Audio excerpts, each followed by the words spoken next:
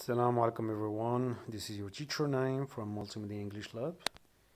Today we have a new special lesson. I hope that you are going to enjoy it. So let's start.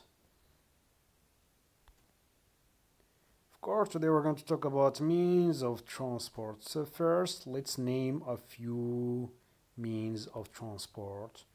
We have van, car, ambulance, helicopter or chopper, bike or bicycle, bus, coach, train, motorbike or motorcycle, tram, rocket, hot air balloon, boat, submarine, fire engine, tractor, underground or subway, taxi, ship, and a plane or aeroplane. Okay, on your books, page 94, you have this matching exercise. You can pause the video and do it on your books or your notebooks. So first we have a boat. Next, it's a bus.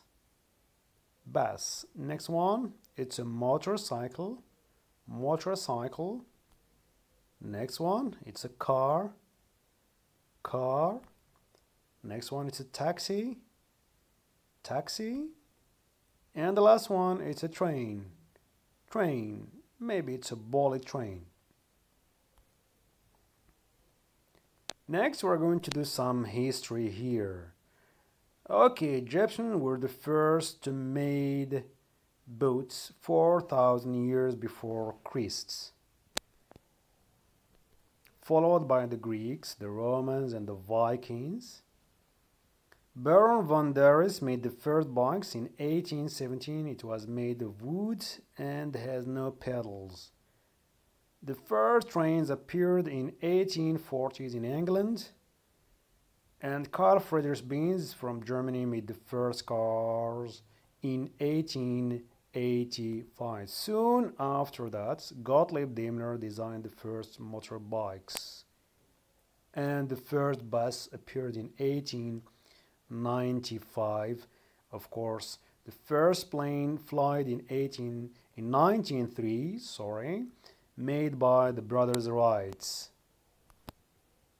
On page 94, we have this special question. Which means of transport do we use to travel by air, sea, rail, or road? We are going to limit it just on land, air, water, land or road. Okay, we have more examples here. We have a truck or lorry, pickup, caravan, and the Sahara ship camel. On air we have plane, hang glider, UFO and parachutes and identified flying objects. Of course, if you want to go to Mars or other planets, you need this special means of transport. For water, we have a kayak. This is a kind of sport. We have a canoe, we have a hovercraft, and you have a sailboat maybe the one that Christopher Columbus used to go to discover America. Now, if you want to describe means of transport, you need special adjectives. For size, we have heavy, light, big, small, tiny, means very small, giant, and wide. Of course, for the shape we can see round, square, straight, oval, flat, triangular. And for color, course we can see red, orange, black, yellow, yellowish maybe, blue, and dark. And for speed we can see fast, slow, swift, rapid, snappy, snail-like, tortoise-like, on page 94 your books you have these uh, special adjectives to describe means of transport so you can see comfortable and comfortable economical and economical safe and safe fast slow here we're talking about speed expensive and cheap when it comes to consumption, maybe of gasoline or money. Any more questions? Yes. On page 93, we have this matching exercise. Question number one, how does Layla travel to Oujda? On the right side, we have the answers. By train. Layla travels to Oujda by train. Next question, why do you prefer the plane? Here we're talking about the reason. Mm, so, because it's fast. Yes. Next question, when are they traveling? Here we're talking about the time. Yeah, tomorrow morning. And the last one, how often does she take the bus? Here we're talking about frequency adverbs sometimes, often of course with O, not with A. Good. Let's move on, page 19 we have these nicely tailored dialogues. So let's do some communication. The first dialogue between Olivia and Leila. Do you like traveling, Anna? Oh, yes, I do. How do you usually travel? Here we're talking about means of transport. And Anna says by train. It's more comfortable. How about your brother Eric? And uh, he prefers traveling by car. Okay, on dialogue number three, here we have the question, which do you prefer? Going on foot or taking the bus? And Eric says walking. So we can see go on foot or we can see walk, okay? On the same next page, we have this uh, true false question or exercise. Oh, true or false, then correct the false information. Number one, Anna usually travels by train. Number two, Anna's brother likes traveling by train. And number three, Ali likes traveling by plane. Number four, Eric always comes to school on foot. And number five, Eric prefers walking to taking the bus. You can pause the video and do it in your notebooks. Okay, are you done? So let's start. Number one, it's true. Yes, Anna usually travels by train.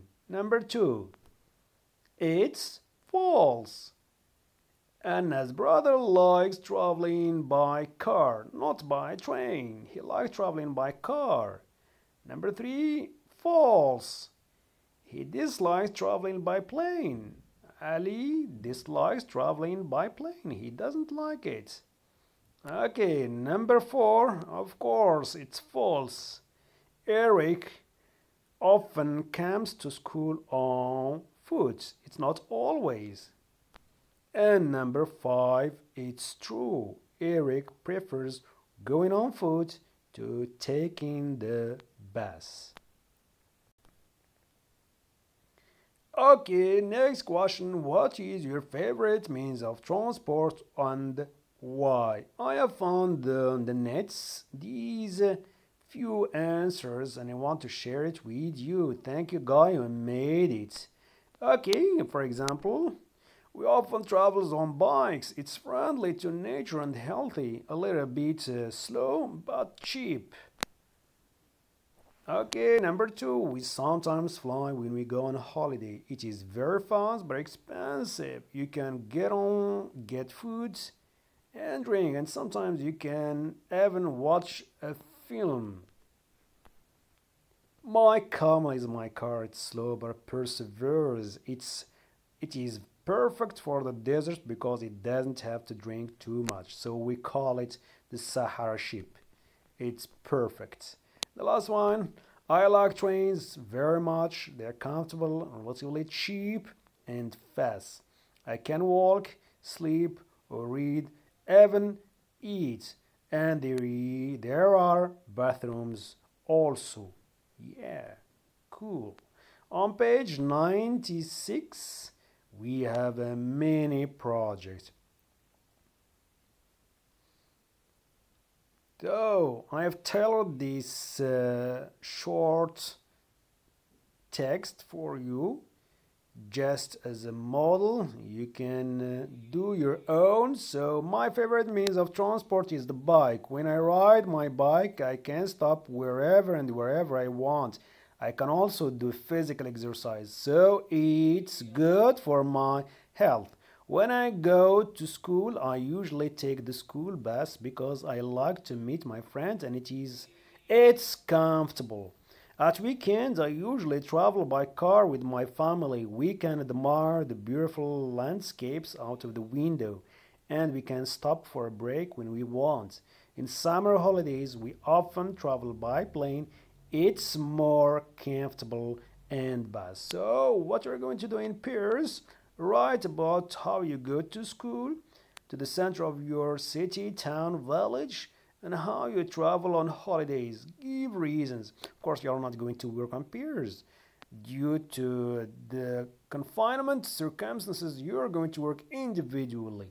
Of course, you're going to use photographs, pictures, or drawings in your mini project. Then you can send it to me and I will check it. Now, we have a nice poem I remember from my first year book its steps to English. It's called Row Your Boats. Row, row, row your boat gently down the stream.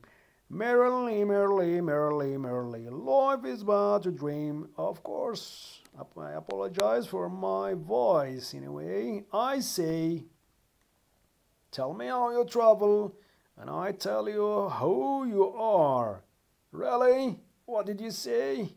Of course, we have many people choose to travel different using different means of transport. Someone want to drive convertible cars, others using the motorcycles, others on foot.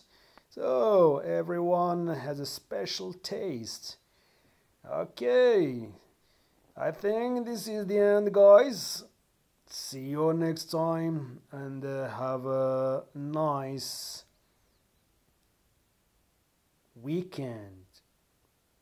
Goodbye.